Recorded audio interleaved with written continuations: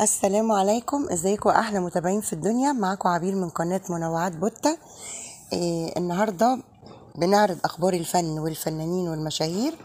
فنبتدي بالصلاة والسلام على سيدنا محمد. إيه معانا إيمي سمير غانم اللي تعرضت لهجوم شرس جدا على السوشيال ميديا.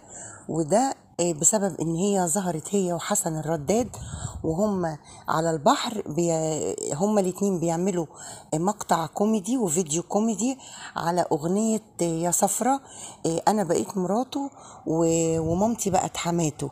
إيه طبعا ظهرت بلبس ال- البحر بالمايو وهو بلبس البحر وفي منتهى السعادة ونسيت الذكرى التانية لوالدتها.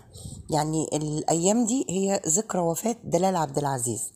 معقولة؟ يعني بعد اللي دلال وسمير غانم الله يرحمهم عملوه لإيمي والدنيا والحسن الرداد ورامي رضوان وكانوا محتضنينهم زي ولادهم بالظبط يكون دوت اللي تستاهلوا دلال إن أنتي في الذكرى الذكرى السنويه بتاعت مامتك إن انتي تطلعي على البحر تعملي مشهد كوميدي وانتي بتصيفي وبتضحكي وبتهزري وكأن مفيش أي حاجة خالص. طب فين ذكرى ماما؟ فين ال- الحزن الشديد جدا اللي أنت كنت عاملاه؟ فين الهستيريا اللي أنت كنت فيها على وفاة آه، آه، دلال وسمير الله يرحمهم؟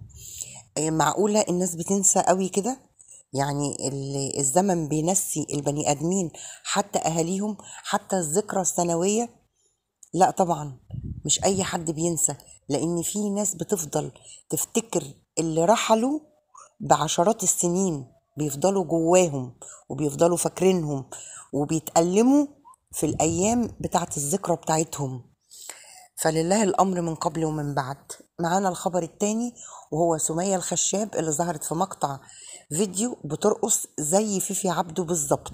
هي تقريبا لقت الأضواء مش عليها والناس نسيتها فحبت تقول للمنتجين والمخرجين لا ده أنا موجودة و- وده مقطع رقص أهو و- وبصوا لي شوية وخلي بالكم مني شوية أنا محتاجة أشتغل. بس بصراحة آه، مقطع آه، ساخر جدا.